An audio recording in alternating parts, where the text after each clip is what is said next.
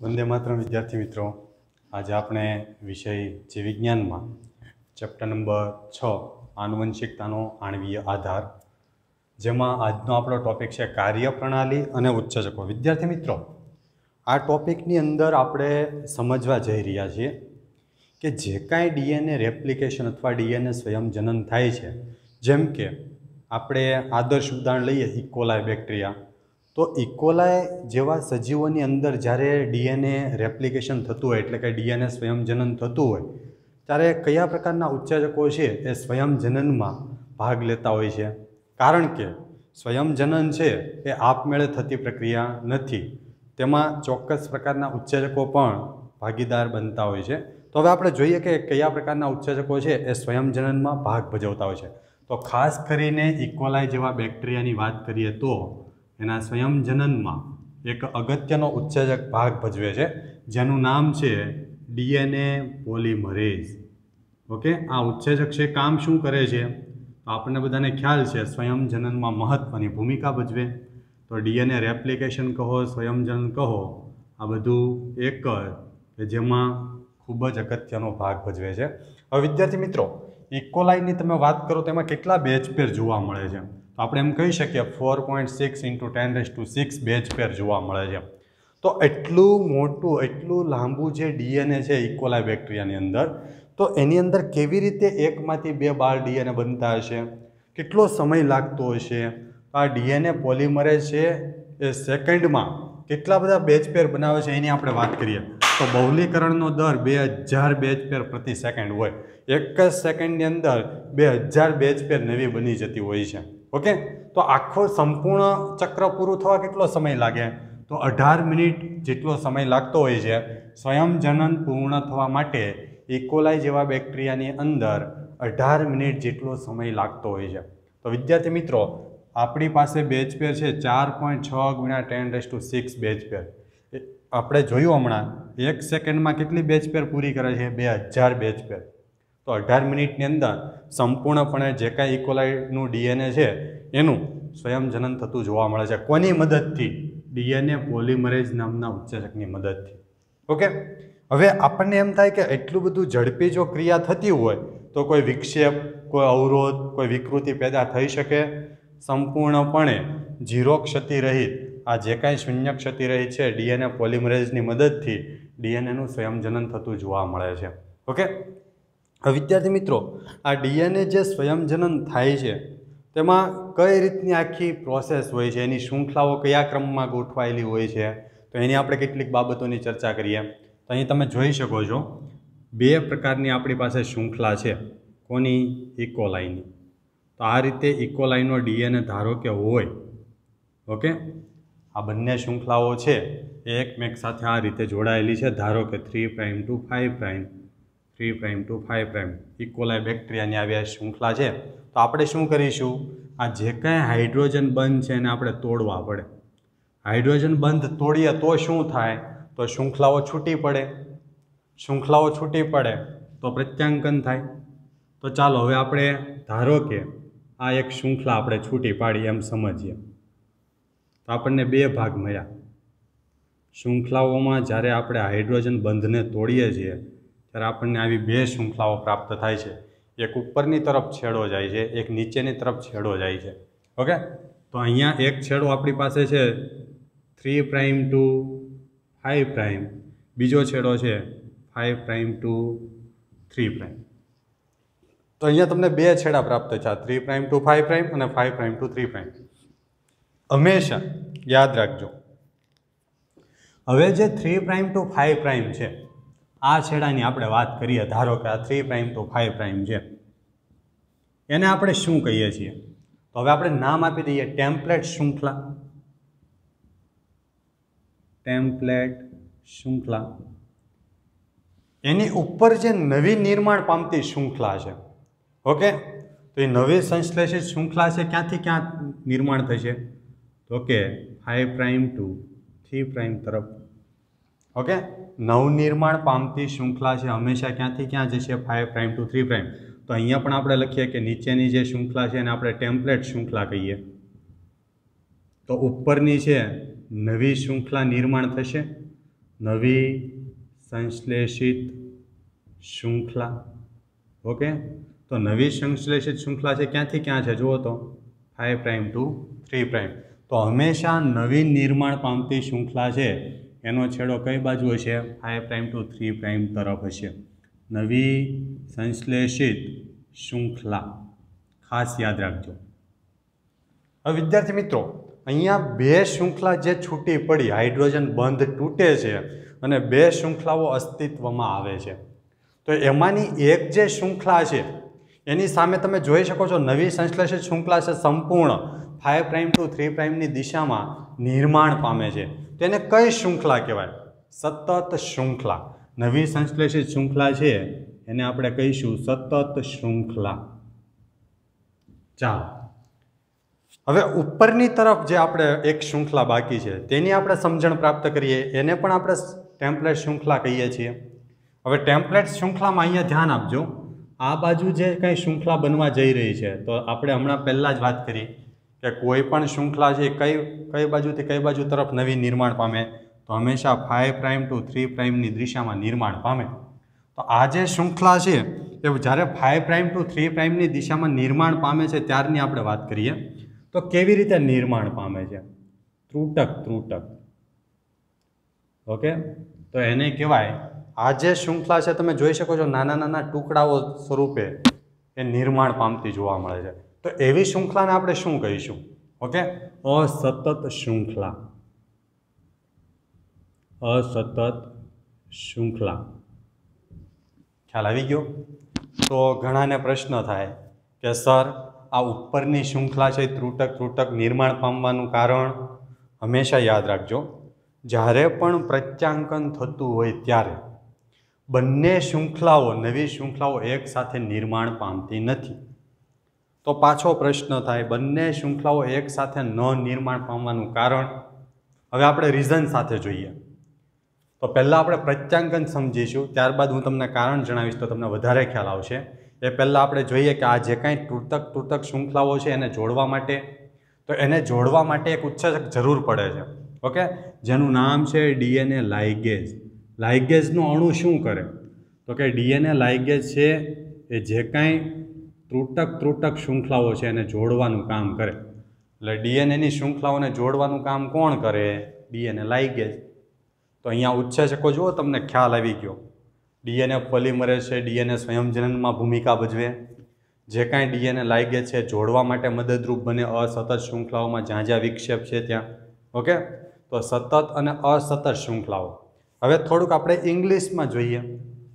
તો ટેમ્પલેટ શૃંખલા તો ઇંગ્લિશ શબ્દ છે, એટલે જે કાંઈ છૂટી પડનારી શૃંખલાઓ છે, ડીએનએ સ્વયંજનનમાં, જેને આપણે ટેમ્પલેટ શૃંખલાઓ કહીએ છીએ.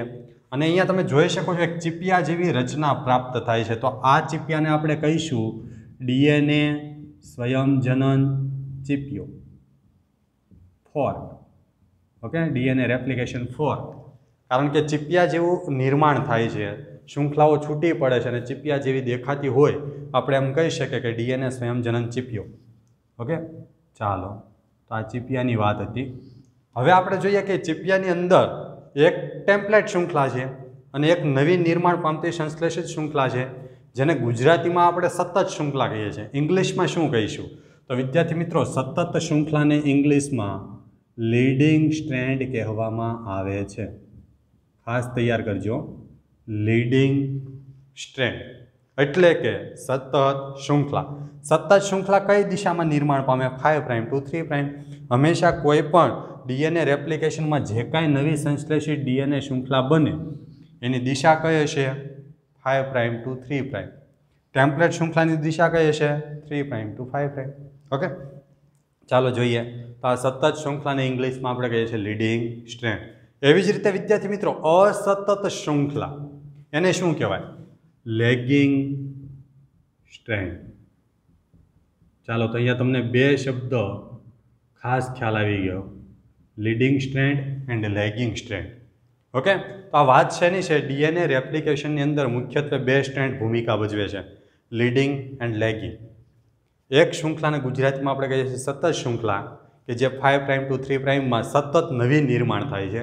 જ્યારે બીજી જ શૃંખલા છે સામેની તરફ અસતત શૃંખલા છે. ત્રુટક ત્રુટક વિભાજિત થઈને નિર્માણ પામે છે. એનું પણ દિશા five prime to three prime છે, જેને આપણે અસતત શૃંખલા અથવા લેગિંગ સ્ટેન્ડ કહીએ છીએ. તો ડીએનએ રેપ્લિકેશનની અંદર આપણને બે શૃંખલાઓ પ્રાપ્ત થતી જોવા મળે છે. લીડિંગ એન્ડ લેગિંગ સતત અને અસતત શૃંખલા. ડીએનએ જે કાંઈ ત્રુટક ત્રુટક છે એને જોડવાનું કામ કરે છે ડીએનએ લાઇગેજ ખાસ યાદ રાખજો. ચાલો તો અહીંયા સુધી ક્લિયર બધાનું? ઓકે વેરી ગુડ ચાલો તો આ વાત હતી ડીએનએ રેપ્લિકેશનની.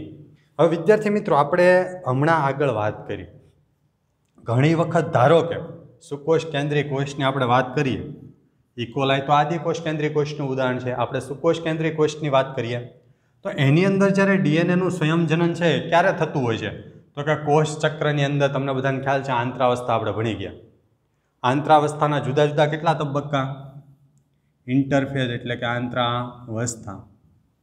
જુદા જુદા કેટલા તબક્કા વિભાજિત થાય? તો આપણે એમ કહી શકીએ G zero G one S G two okay આવા જુદા જુદા ચાર તબક્કામાં વિભાજિત થાય છે. તો ડીએનએ સંશ્લેષિત કયા તબક્કામાં થાય છે? એસ તબક્કામાં. ઓકે તો અહીંયા જ્યારે કોષ વિભાજન થતું હોય ત્યારે એસ તબક્કાની અંદર ડીએનએનું સ્વયંજનન થતું જોવા મળે છે. ટોટલ ચાર તબક્કા છે આંતરાવસ્થાના. ઓકે યાદ રાખજો. એમાં G zero G one S અને જી ટુ મુખ્યત્વે એસ તબક્કાની અંદર ઓકે એટલે કે સિન્થેસાઇઝ ફેઝની અંદર, સંશ્લેષિત તબક્કાની અંદર ડીએનએનું સ્વયંજનન થતું જોવા મળે છે. કયો કોષ હોય ત્યારે?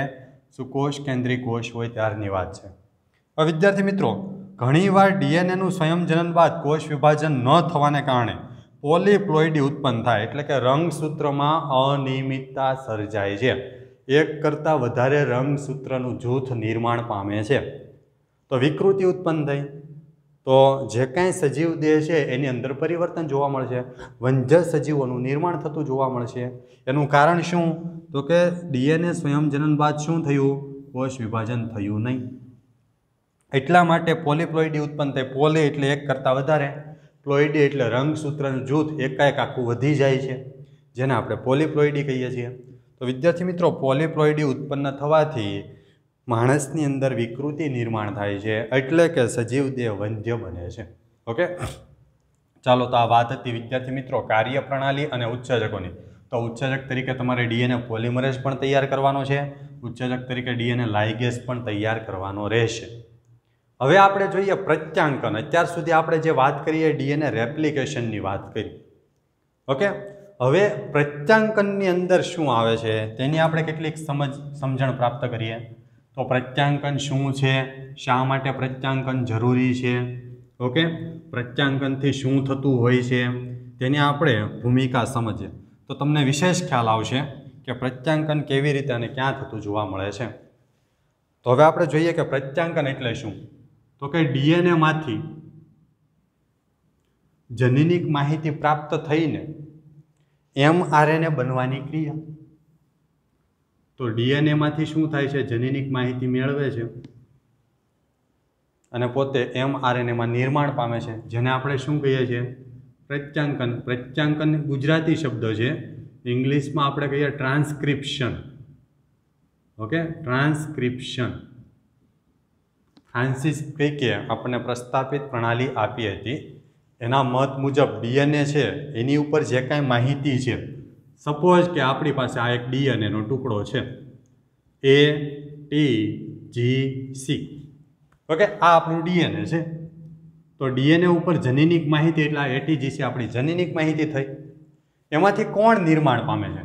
તો કે આરએનએ નિર્માણ પામે છે. તો એની સામે આરએનએમાં કોણ આવે?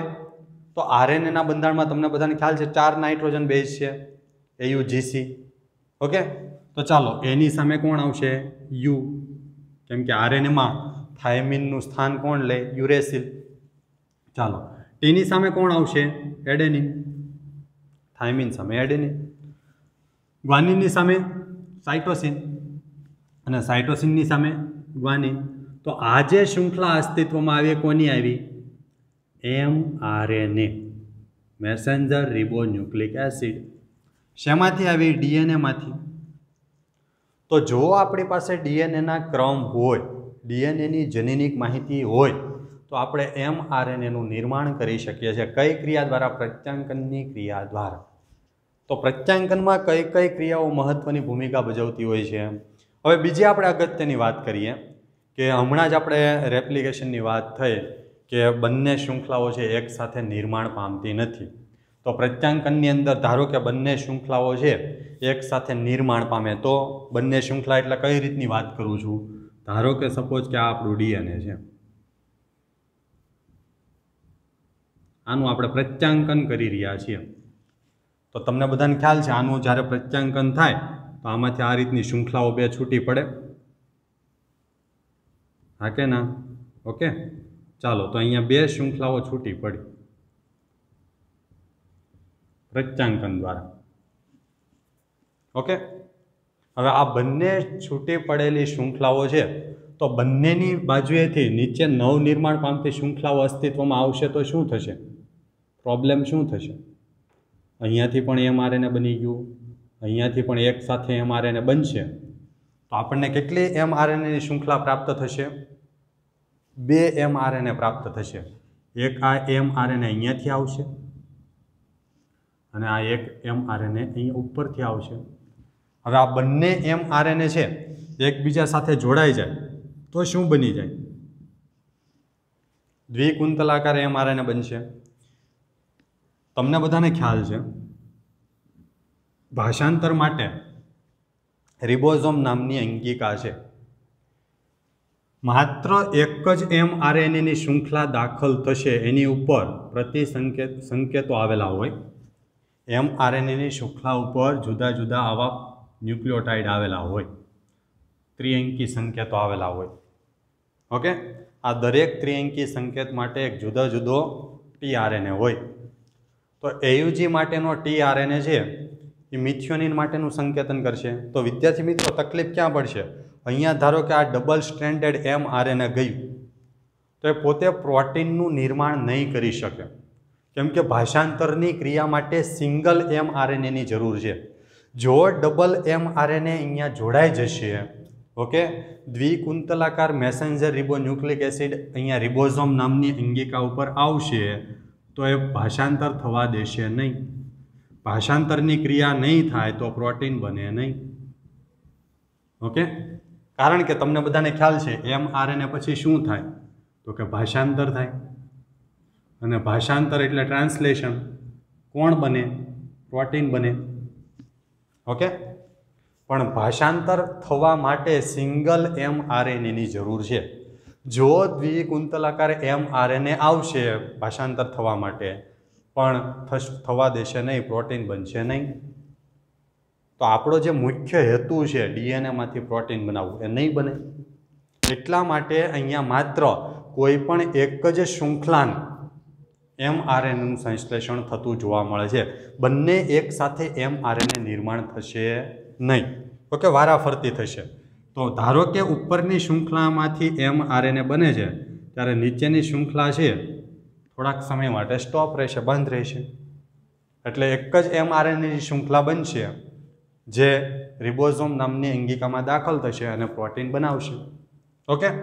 તો આને કહેવાય પ્રત્યાંકન. તો પ્રત્યાંકન થવું ખૂબ જ જરૂરી છે. પ્રત્યાંકન થશે તો એમ આરએનએ બનશે. અને એમ આરએનએ સિંગલ સિંગલ બનશે તો પ્રોટીન બનશે. ઓકે? તો આ વાત છે પ્રત્યાંકનની. તો પ્રત્યાંકન થવા માટે કોની જરૂર છે? તો ખાસ કરીને પ્રત્યાંકન એકમોની જરૂર પડે. તો વિદ્યાર્થી મિત્રો, પ્રત્યાંકન એકમ કોણ કોણ છે, કઈ રીતે હોય, ક્યાં આવેલા હોય, એની વાત, એની સમજણ. તો ટ્રાન્સક્રિપ્શન યુનિટ ઓકે? પ્રત્યાંકન એકમની વાત કરવા હું જઈ રહ્યો છું. તો તમને બધાને ખ્યાલ છે, કોષ કેન્દ્રની અંદર રંગસૂત્ર, રંગસૂત્રમાં ઘણા બધા જનીનો આવેલા છે. ધારો કે આ આપણે એક ટુકડો લીધો ડીએનએનો સમજવા માટે કે પ્રત્યાંકન એકમમાં કોણ કોણ આવેલું છે. તો વિદ્યાર્થી મિત્રો, પ્રત્યાંકન એકમમાં અહીંયા તમે બે શૃંખલા જોઈ શકો છો. એક ઉપરની તરફની શૃંખલા છે, એક નીચેની તરફની શૃંખલા છે. ઉપરની તરફની શૃંખલા five prime to three prime ચાલો ક્લિયર નીચેની તરફની શૃંખલા પરસ્પર વિરુદ્ધ દિશામાં હોય five prime to three prime okay તો પહેલાં કોણ આવેલું હશે તો અહીં તમે જોઈ શકો છો, આપણે એમ લખી શકીએ. પ્રમોટર ચાલો, તો પ્રત્યાંકન એકમ તરીકે પ્રમોટર આવેલા હોય, પછી કોણ આવેલું હોય? તો કે બંધારણીય જનીન આવેલા હોય. ઓકે, બંધારણીય જનીન. અને ત્રીજું કોણ છે? સમાપક. આવા ત્રણ એકમો પ્રત્યાંકનમાં જોવા મળે છે. પ્રમોટર બંધારણીય જનીન અને સમાપક સ્થાન. હવે કેવી રીતે ગોઠવાયેલા હોય છે? તો હવે ખાસ યાદ રાખજો. ટેમ્પલેટ શૃંખલા અને કોડિંગ શૃંખલા એવી બે શૃંખલા હોય. તો અહીંયા તમે ઉપરની શૃંખલા છે એને ટેમ્પલેટ શૃંખલા કહી શકો. આપણે હમણાં જ વાત થઈ મુખ્ય શૃંખલા હોય, એને આપણે ટેમ્પલેટ શૃંખલા કહીએ. એની સામેની જે શૃંખલા છે એને આપણે શું કહીએ છીએ? કોડિંગ શૃંખલા.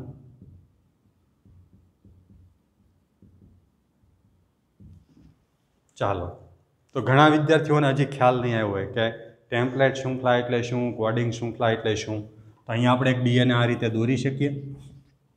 એમાં આપણે લખી શકીએ A T G C G A T okay એને આપણે સ્થાન આપી દઈએ five prime to three prime હવે નવનિર્માણ પામતી શૃંખલા એટલે કે ડીએને તો આખું સળંગ હશે. અહીંયા આપણે નવી શૃંખલાની વાત નથી કરતા આખો ડીએનએ છે બેવડી કુંતલાકાર છે. તો એની સામે કોણ હોય છે હંમેશા? ટી ટીની સામે એ જીની સામે સી સીની સામે જી જીની સામે સી ટી અને એ આ રીતનું બેવડું કુંતલાકાર ડીએનએ હોય. તો ઉપરની તરફની શૃંખલા છે ને આપણે કહીએ છીએ ટેમ્પલેટ શૃંખલા. નીચેની તરફની જે શૃંખલા છે ને આપણે કહીએ છીએ કોડિંગ શૃંખલા. ચાલો ક્લિયર? ઓકે વેરી ગુડ અને આમાંથી એમ આરએને કયો બને? એ તમે કહી શકો. ઉપરની શૃંખલામાં એમ આર એને કયો બને? નીચેની શૃંખલામાં એમ આરએને કયો બને છે? એ તમને તરત જ ખ્યાલ આવી જાય પ્રત્યાંકન દ્વારા. ઓકે હવે વિદ્યાર્થી મિત્રો પ્રમોટરનું સ્થાન આખા આખા પ્રત્યાંકન એકમમાં ક્યાં છે એમ આપણે કહેવું હોય તો કેવી રીતે કહીશું? તો ઉપરની જે આખી ડીએનએની શૃંખલા છે, એ અનુપ્રવાહ છે. અનુપ્રવાહના ક્રમમાં ગોઠવાયેલી છે એમ આપણે કહી શકીએ અનુપ્રવાહ. નીચેની જે શૃંખલા છે એને આપણે નામ આપીએ પ્રતિપ્રવાહ. ઓકે? તો આપણે એમ કેવું છે, પ્રમોટર ક્યાં આવેલ છે? તો પ્રતિ પ્રવાહના ઓકે? પ્રતિ પ્રવાહના થ્રી પ્રાઇમના છેડા પાસે પ્રમોટર આવેલું છે, એમ કહી શકાય. તો પ્રતિ પ્રવાહ ઉપર ફાઈવ પ્રાઇમ નજીક પ્રમોટર આવેલું છે. ઓકે ચાલો. એવી જ રીતે સમાપક સ્થાન ક્યાં આવેલું છે? તો અનુપ્રવાહના થ્રી પ્રાઇમની નજીક સમાપક સ્થાન આવેલું છે.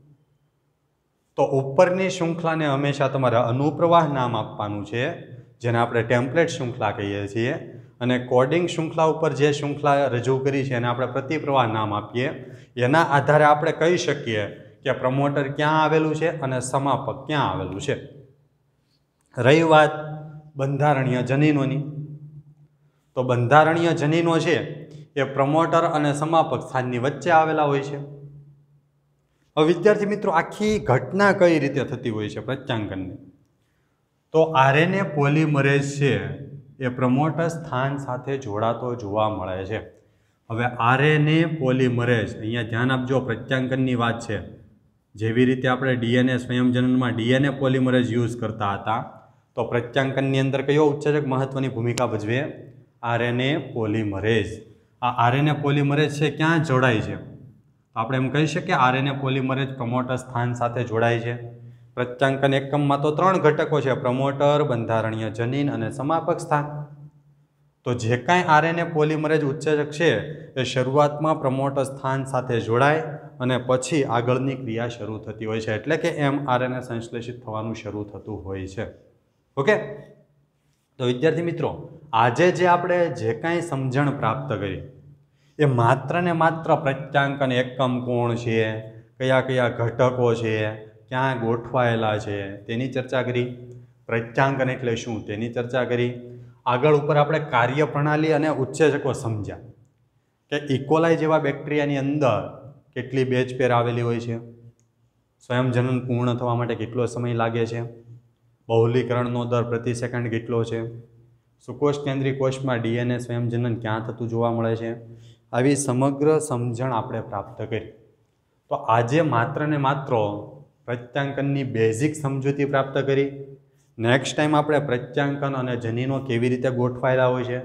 સુકોષ કેન્દ્રીય કોષમાં મોનોસિસ્ટ્રોનિક એટલે શું?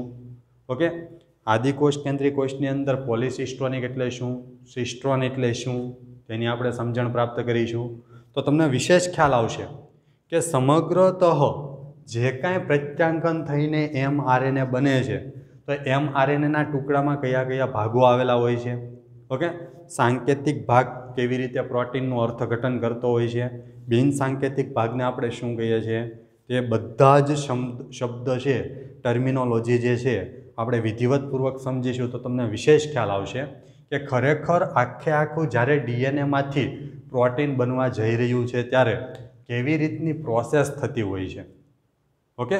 તો તમને બધાને ખ્યાલ છે સુકોષ કેન્દ્રીય કોષની અંદર ડીએનએમાંથી એમ આરએનએ છે, એ માત્ર કોષના કોષ કેન્દ્રમાં બને છે. જ્યારે ઇકોલાઈની અંદર તો કોષ કેન્દ્ર જેવું કોઈ ભાગ જ નથી, તો કોષ રસમાં જ આ બધી ઘટનાઓ થતી હોય છે. ઓકે? તો આજે આપણે માત્ર ને માત્ર પ્રત્યાંકન અને પ્રત્યાંકન એકમની સમજણ પ્રાપ્ત કરી. Have nice day good day